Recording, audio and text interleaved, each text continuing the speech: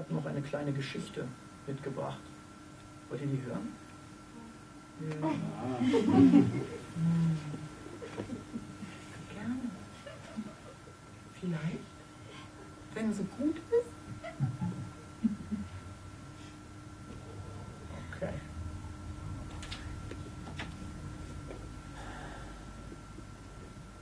Diese Geschichte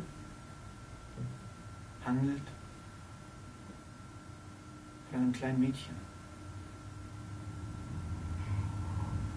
Und dieses kleine Mädchen hat ein dunkles, sehr dunkles Geheimnis. Kinder hier. Ha? Kinder hier. Ja. Also erzähle ich diese Geschichte für euch. Was können denn Kinder für dunkle Geheimnisse haben, wenn Kinder im Raum sind? Zum Beispiel, Wir haben ein Barbie-Kleid geklaut. wir haben ein Barbie-Kleid geklaut Von der großen Schwester.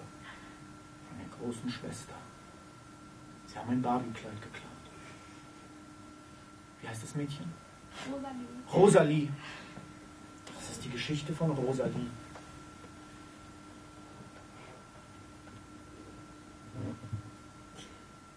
Rosalie war ein kleines, glückliches Mädchen. Sie lebte in Berlin. Eine Stadt so groß, dass Rosalie nie verstand, wo Berlin anfing und wo Berlin aufhörte. Irgendwie war doch alles Berlin. Manchmal fragte sie ihre Eltern, "Hm, Papi, ist das auch noch Berlin? Und ihr Vater sagte, das ist noch Berlin, mein Kind. Und dann war Rosalie glücklich, weil ihr Vater ihr die Welt erklärte. Ihr Vater erklärte ihr immer die Welt. Ihr Vater wusste auf alles eine Antwort. Eines Tages fragte Rosalie, Papi, was machst du eigentlich beruflich? Da sagte ihr Vater, mein Kind, ich arbeite in der Sparkasse.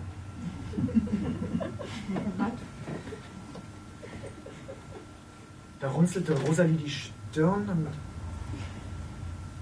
nickte. Sie fragte nicht weiter. Ihr Vater hatte ihr eine Antwort gegeben.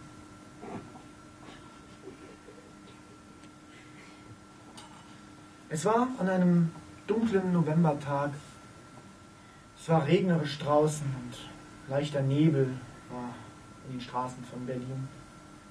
Und Rosalie ging mit ihrem Vater, Paul hieß er, durch die Straßen. Er hielt sie an der Hand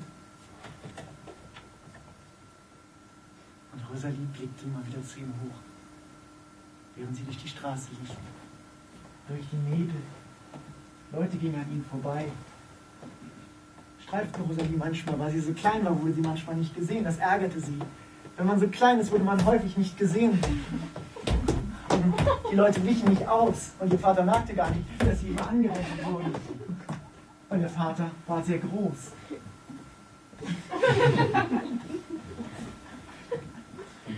Er merkte es immer gar nicht, wenn Rosalie angerempelt wurde. Oder wenn große Hunde an ihr vorbei. Vater zog sie einfach durch die Stadt.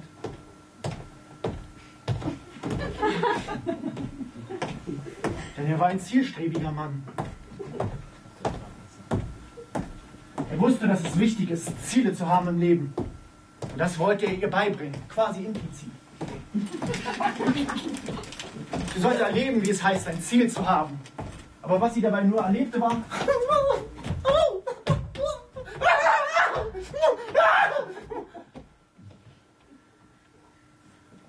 Dann kam sie an.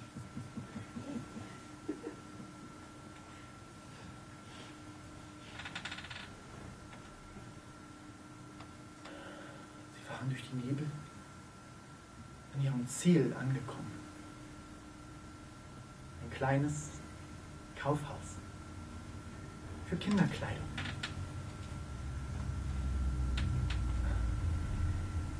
Der Papa hatte nicht so viel Zeit. Und so hatte Papa Paul eine kleine Rosalie mitgenommen und ging mit ihr in den Laden und sie durfte sich ein Kleidchen aussuchen. Sie stöberte in den Kleidern und wühlte drin rum, voller Spaß und Freude und stellte sich schon vor, wie sie drin aussah und hatte sehr viel Spaß und ihr Papa stand neben ihr und sagte, Rosalie, mach das nicht! Nicht drin rumwühlen! Entscheide dich für etwas!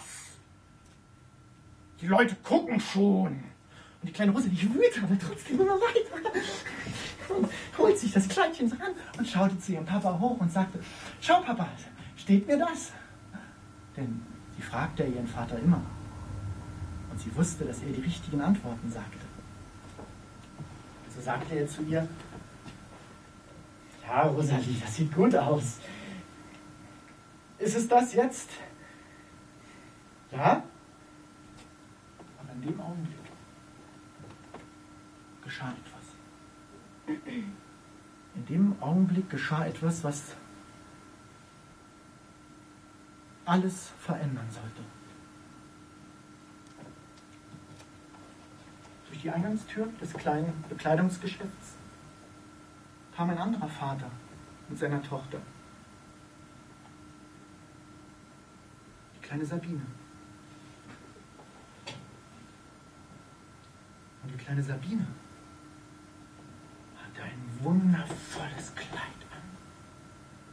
So wunder, wunderschön mit kleinen Blümchen drauf und Applikationen und Seitengesticke und Rüschen an den Ärmelchen und kleinen Taschen, wo sie ihre kleinen Händchen reinstecken konnte, wenn sie so weiter lief. Hinten war ein kleines Band, was sie zusammenbinden konnte zu einer Schleife, was dann hinten lustig auch hin und her schwang, wenn sie lief. Es sah einfach süß aus, unglaublich schön. Die kleine Sabine war sehr stolz auf dieses Kleidchen. Sie wusste eigentlich gar nicht, was sie in diesem Laden sollte, denn sie hatte ja schon das Schönste aller Kleider an. Und genau das dachte sich auch Rosalie. Sie sah das Mädchen in dem Kleid,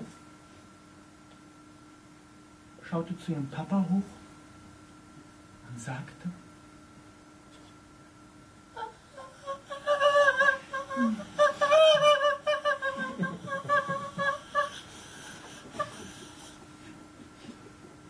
Der Vater blickte nach unten und wusste, Scheiße.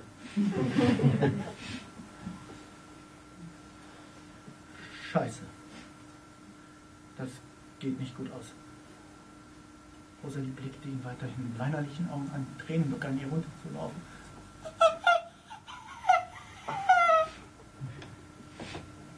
Kleine Sabine. Sie wusste, was Sache war. ihr wurde unwohl. Sie zog an der Hand von Papa. Papi, können wir doch gehen? Bitte, ich will wirklich kein Kleid. Es ist alles, es ist alles okay. Ich habe doch das schönste Kleid der Welt an, Papi, wirklich. Lass uns gehen. Können wir nicht ins Kino?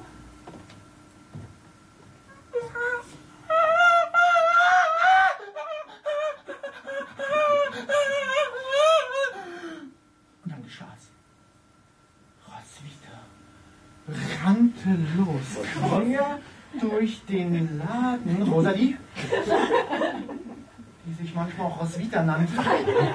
Vor allem, wenn sie so drauf war wie jetzt, wurde sie zu Roswitha. Sie wurde zu einem quasi Monster. Sie sprang das Mädchen an, zerrte an dem Kleid und schrie "Ah, ist das wunderschönste Kleid, das ich je gesehen habe!" Und das andere Mädchen versuchte zu entweichen und auszuweichen, aber die Hände klammerten sich an ihrem Kleidchen fest. Und dann riss der rechte Ärmel, dann riss hinten das Schleifchen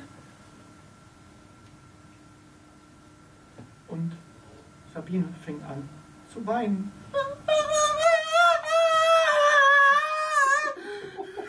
Und Rosalie, die immer noch quasi Roswitha war, ja, erzählt weiter, ja, schrie Hurra! Ah, ah, ah, ah.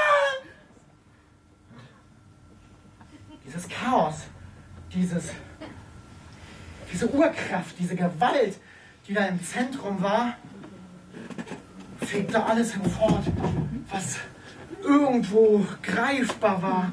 Alles wurde eingesogen in diesen Tornado dieser Kräfte, diese geballte Urkraft, diese Wucht, die eigentlich unbeschreiblich ist, die sich dort um etwas kräftig balgte und zerrte. Und am Rand standen sich zwei Männer gegenüber,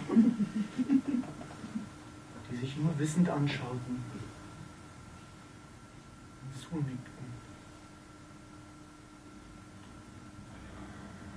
Und beide dachten, Scheiße.